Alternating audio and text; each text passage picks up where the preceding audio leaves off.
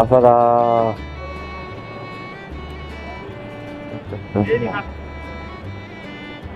さあ、ということで、こんばんは、山陽と申します。さあ、今日はね、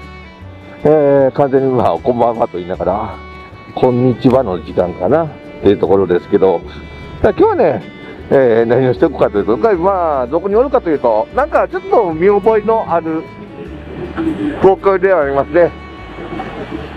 あまあ、というか、この辺り、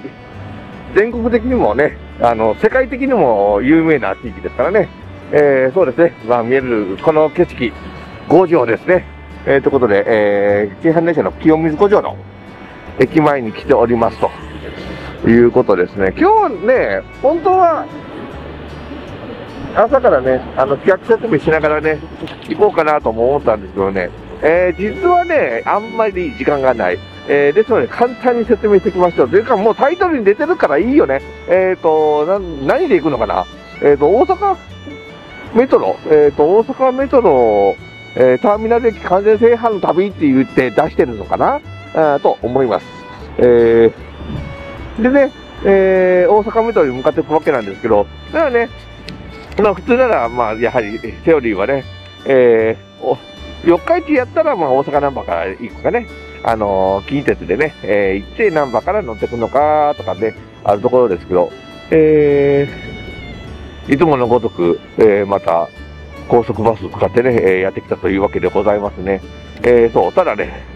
着いたらもうね、バスの出発、もうバスがね、到着してましてね。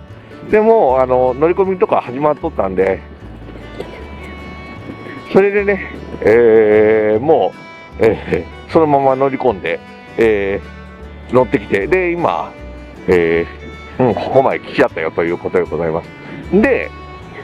そう、今回はね、どうしてわざわざ、えー、わざわざというかね、こっちの方に来たかというと、要は、近鉄でね、行くのが一番早いんですけど、近鉄で行く方のがいい早いんだけど、えー、この度ね、近鉄がまだちょっと値上がりをしましたと、えー、いうことでね、ちょっとかなり価格差がね、できたよねっていうところで、えー、そのあたりもあって、えー、実はこっちの方はね、まだ値上がりしてないんですよ。あのー、近鉄の方だと、片道、えっ、と、3700円だったかなえー、とかかるようになってるんですけど、今こっちの方はまだ往復割引を使うと、片道2100円ということで、えっ、ー、とね、だから、1600円ぐらい片道で違う。ですから、えっ、ー、と、往復で3200円ぐらい変わってくるということなんで、これ結構ね、価格差が相当ついたなってことで、えー、こっちのね、方をね、紹介するあれもあるのかなということでございます。えー、っていうのでね、来たんですけどね、えー、さてと、とりあえずね、それでね、ここからどうするかというと、清水五条からね、えー、パッと、とりあえず、えっ、ー、とね、七条の方に向かってたのかな。よいしょ。あ、あとちなみに、カメラをね、買い替えまして、よいしょ。えっ、ー、とね、実はそれの試し撮りも兼ねてね、やってきましたよ。だからこれね、思いついたのがね、昨日の仕事行く前にパッと思いついてね、パッとね、そう大雨だったんでね、あの、これ実は大雨の、台風2号の大雨の日なんですよね。で、雨降ってしあれかなと思ってたんですけど、なんか週末は晴れるよみたいになったんで、週末晴れるのか晴れるのに、本当はそう雨降ってるんだったらね、もう家で編集作業してやらないともう溜まってますからね、編集しないといけないデータが。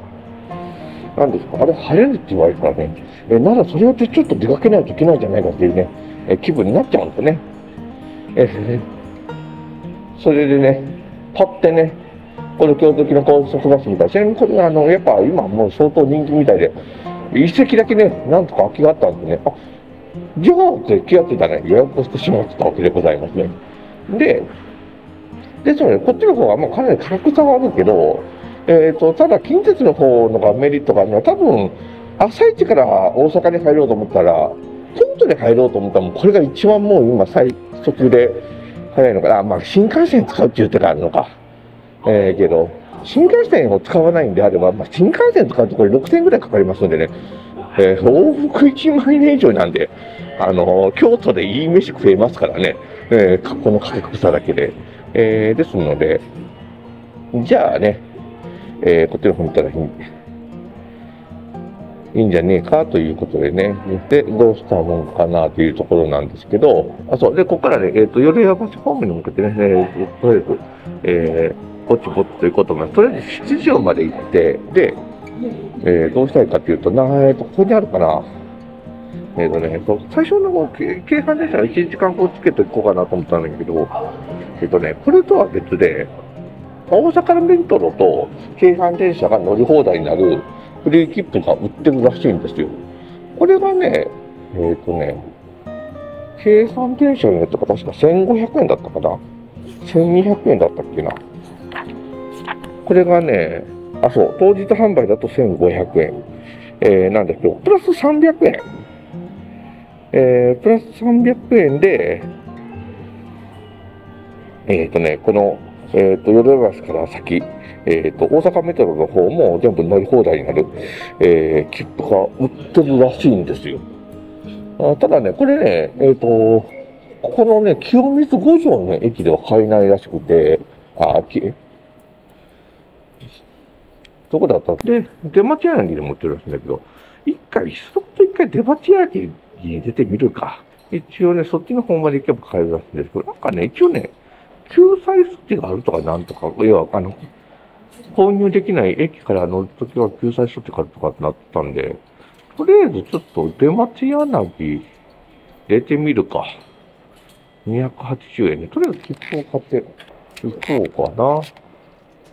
というところだよ。こっち切符買えないのか。さすが優柔不断やね。結局、170円で隣の七条まで出ましょう。七条でも買えるらしいんでね。よいしょ。さあ、とりあえず、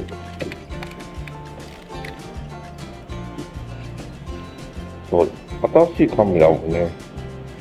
ちょっと使い始めてみて、雑感とかもいろいろ入れてきながらね。でもやっぱ海外の人増えたね。そうそう、この前来た時は、東京4分14度ってこの前来た時は、ちょうどあれか、コロナのど真ん中の時やったんで、確かに海外の人少ないなってイメージやったけど。